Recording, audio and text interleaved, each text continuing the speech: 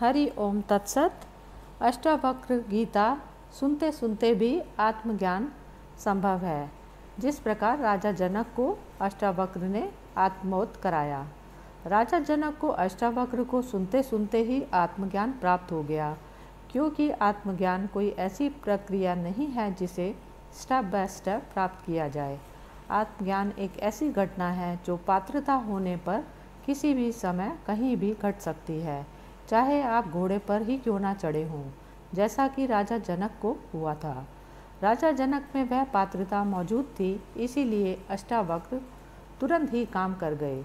राजा जनक को ज्ञान शिरोमणि अष्टावक्र द्वारा घोड़े के पागड़े में दूसरा पैर रखते समय दिया गया यही ज्ञान अष्टावक्र गीता के रूप में प्रसिद्ध है। अष्टावक्र गीता या अष्टावक्र संहिता भारतीय अध्यात्म का अतुलनीय ग्रंथ माना जाता है। ऐसा ग्रंथ जिसे पढ़ते पढ़ते सुनते सुनते ही आत्मज्ञान हो सकता है। स्वामी विवेकानंद ने स्वयं लिखा है, उनके कक्ष में स्वामी रामकृष्ण परमहंस के एक और किताब भी थी, अष्टावक्र संहिता। अगर कोई वह पुस्तक निकाल कर पढ़ता तो रामकृष्ण परमहंस उसे देख लेते और वह उसे मना कर देते। वह उसके अलावा उसे श्रीमद् भगवत गीता या दूसरा ग्रंथ पढ़ने को देते। लेकिन उन्होंने अष्टावक्र गीता स्वामी विवेकानंद को पढ़ने के लिए कहा और वह ज़बरदस्ती उससे पढ़वा कर सुनना चाहते थे। कहा जाता है, इस पुस्तक को पढ़ते पढ़ते ही स्वामी विवेकानंद ध्यानस्थ हो गए और उनके जीवन में क्रांति घट गई। जिस प्रकार श्रीमद् भगवत गीता में भगवान श्री कृष्ण द्वारा अर्जुन को संबोधित करते हुए जन सामान्य को धर्म एवं कर्म की शिक्षा प्रदान की गई।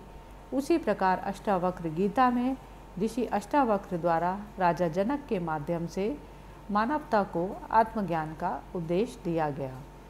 अष्टावक्र गीता में किसी भी क्रिया, पूजा, प्रार्थना, ध्यान, कर्म, भक्ति, भजन, कीर्तन, योग, हठ योग कुछ भी आवश्यक नहीं माना गया। अष्टावक्र का मानना है कि क्रियाएँ केवल अहंकार को पोषित करती हैं। वह केवल दिखावा या आडंबर मात्र होती हैं। अंधकार को हटाने के लिए की जाने वाली सभी क्रियाएँ केवल मूर्खता है।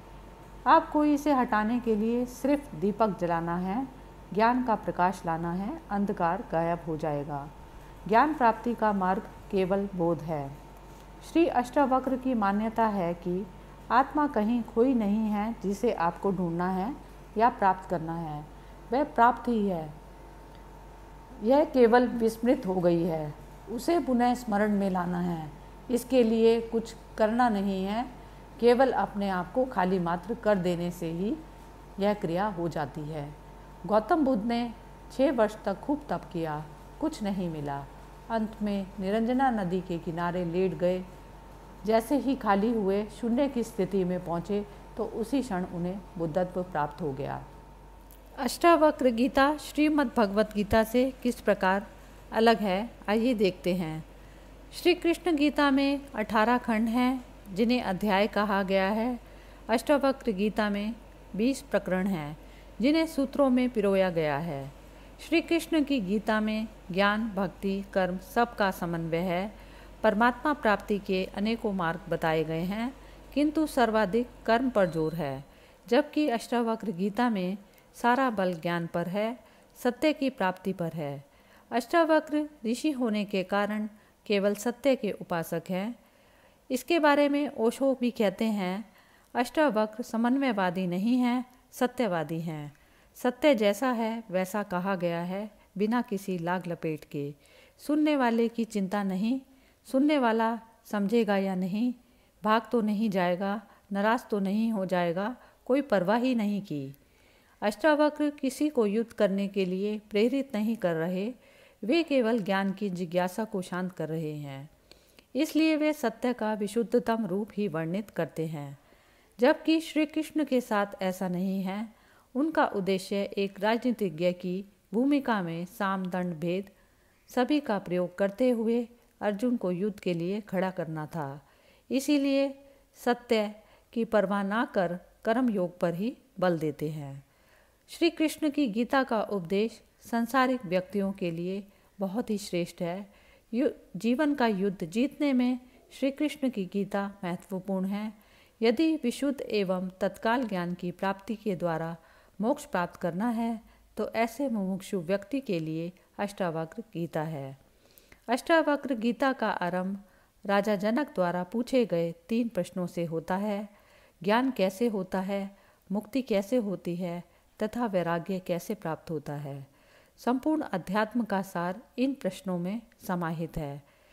श्री जनक के इन तीन प्रश्नों का समाधान अष्टावक्र जी ने तीन वाक्य में कर दिया और इन्हें सुनते सुनते ही जनक को आत्म अनुभूति प्राप्त हो गई। जब अष्टावक्र जैसे गुरु एवं जनक, जैसे पात्र शिष्य का मिलन होता है तो पल भर में ही क्रांति हो जाती है। आत्मा को देखने की क्षमता आना ही पात्रता है। इसमें पूर्व के कई जन्मों का योगदान होता है। राजा जनक में यह बोध था, वह विद्वान थे। उनमें समझ थी, इसलिए अष्टावक्र ने उन्हें कोई विधियाँ नहीं बताई। ना यम नियम साधने को कहा, ना कोई आसन मुद्रा, योग प्राणायाम ध्यान करने को कहा। सीधा उनके बोध को स्पर्श कर दिया।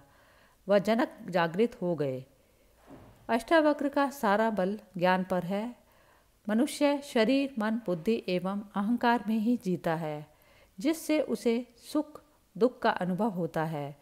जबकि मनुष्य इनमें से कोई नहीं है, वह विशुद्ध चैतन्य है। शरीर में स्थित यह चैतन्य आत्मा एवं विश्व की समस्त आत्माओं में एकत्व भाव ही ब्रह्म है, दोनों अभिन्न हैं। यह चैतन्य न करता है, न भोगता है। यह सबका साक्षी, निर्विकार, निरंजन क्रिया रहित एवं स्वयं प्रकाशित है। यह समस्त संसार में व्याप्त है, एवं समस्त संसार इसमें व्याप्त है। संसार उसी चेतन की अभिव्यक्ति मात्र है। इस चैतन्य का ज्ञान हो जाना ही मुक्ति है। अष्टावक्र जी कहते हैं कि मोक्ष कोई वस्तु नहीं है जिसे प्राप्त किया जाए। ना कोई स्थान है जहाँ पहुँचा जाए। ना कोई भोग है जिसे भोगा जा सके। ना रस है, ना इसकी कोई साधना है। ना इसकी कोई सिद्धि है। ना यह स्वर्ग में है, न सिद्ध शिला पर। विषयों में विरसता ही मोक्ष है। विषयों में रस है तो संसार है। जब मन विषयों से विरस हो जाता है, तब मुक्ति है। विषयों में अनासक्त हो जाना ही मुक्ति है। यही वैराग्य, ज्ञान, मुक्ति अर्थात संपूर्ण मोक्ष विज्ञान का सार है अष्टावक्र जी कहते हैं, इन संसारिक विषयों के प्रति जो तुम्हारी आसक्ति है, उसे विष के समान मानकर छोड़ दें, तथा स्वयं को वही विशुद्ध चैतन्य आत्मा मानकर उसमें निष्ठापूर्वक स्थित हो जाएँ। अष्टावक्र की यह विधि प्रखर एवं तीव्र प्रतिभा संपन्न व्यक्ति के लिए ही उपयोगी है सामान्य व्यक्तियों को किसी न किसी क्रिया से गुजरना होगा भिन्न भिन्न स्तर के व्यक्तियों के लिए भिन्न भिन्न मार्ग हैं। श्री अष्टावक्र महागीता आत्मज्ञान के इच्छुक व्यक्तियों के लिए निश्चित ही एक ऐसी नौका है, जिसमें बैठकर इस संसार रूपी भव सागर को पार कर मुक्ति लाभ लिया जा सकता है, जो कि जीव की उच्चतम स्थिति मानी जाती है। हरि ओम तत्सत।